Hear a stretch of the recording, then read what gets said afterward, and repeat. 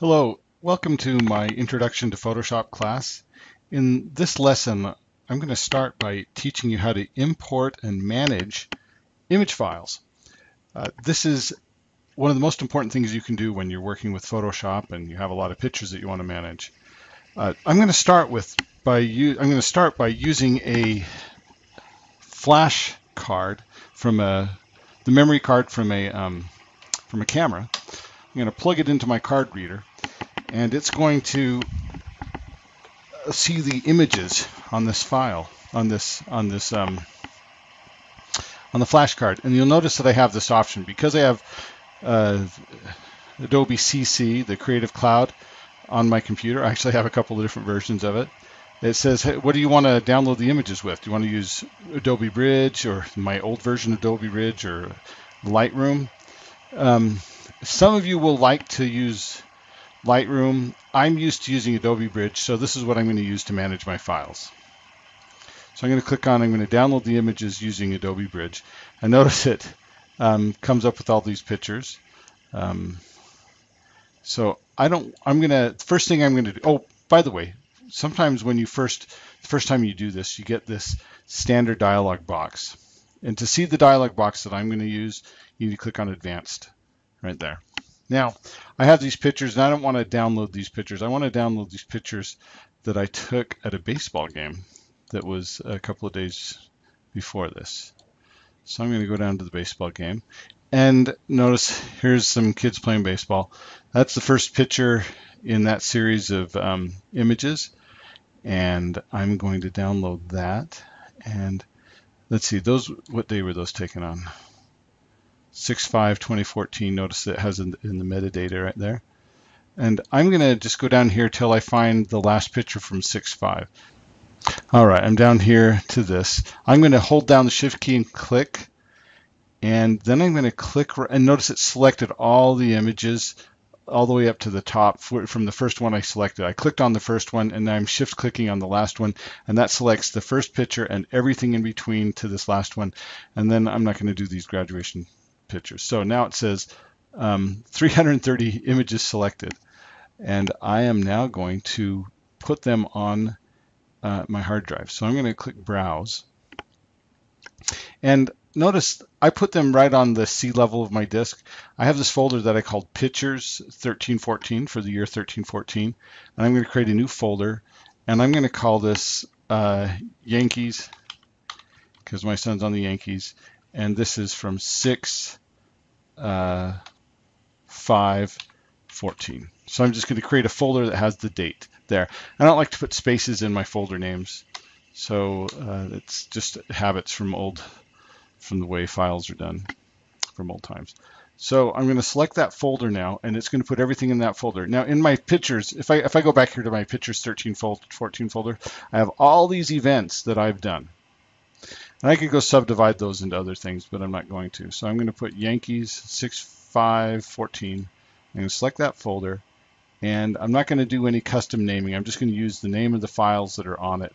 I don't want to delete the original files because I actually want to put this on a home computer, not a work computer. And uh, because I'm going to do this later. And I'm going to get the media. And while it downloads, I'm just going to, I'm going to pause the video while it downloads.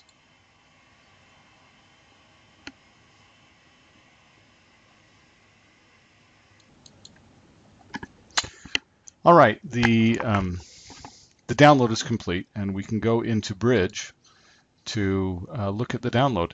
And if you remember, I named it Yankees 6514, and there's the folder. And if I double click on that, it's going to show all the images that uh, it downloaded from there. But you'll see that it shows all these pictures. And let's, uh, let's just scroll through for a minute to find a good one.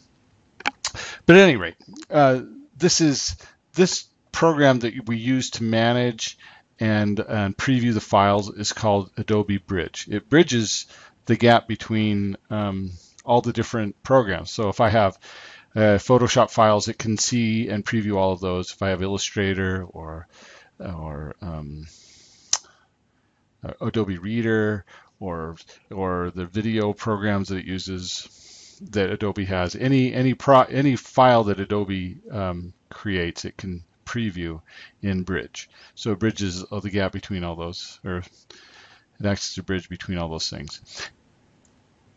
In Bridge, we can make some, we can look at the pictures in a couple of different ways. We can look at it in this Essentials tab, and that's how we can look at um, any of these pictures. We can also look at any of the metadata that goes with it. Notice how it tells it, it was landscape, the orientation was landscape. Um, of all these pictures in this folder, there are 304 landscape and 16 portrait. Aspect ratio, 2 to 3, color profile. We can look at all these things, which some of which would not mean much to you right now.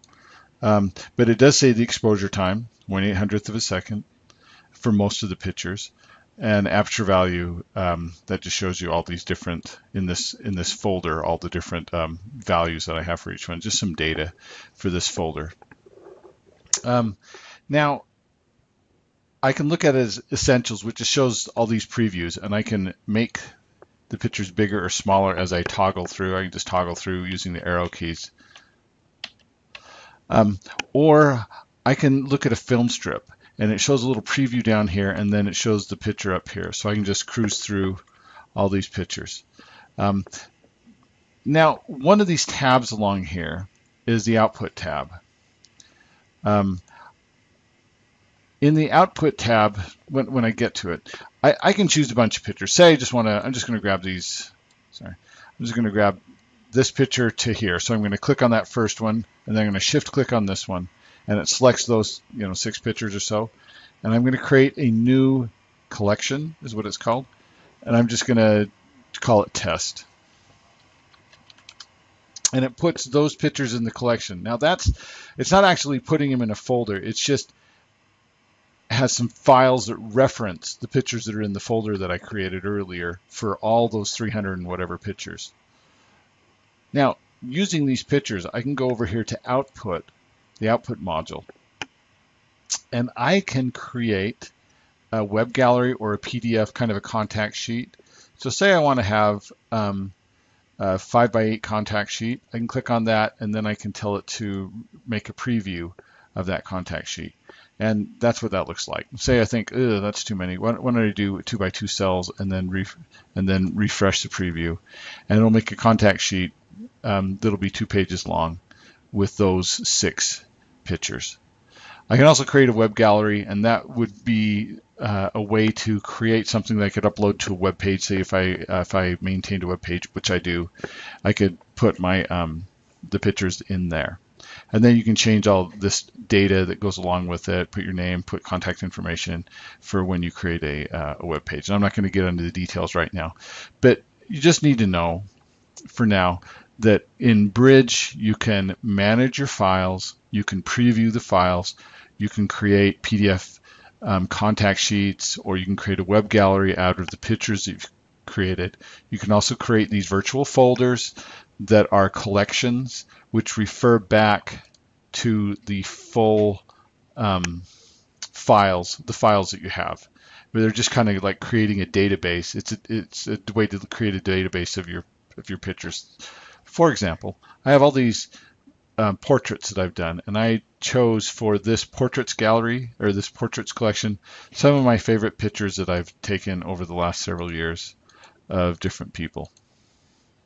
And uh, but these refer all these. This is just a debate database of pictures that I have in files all over the place on my on my um, on my hard drive for the last uh, like three or four years. And that's all I'm going to show you right now in, in this part where we're importing man and managing the images. Uh, I'm going to end right here for today.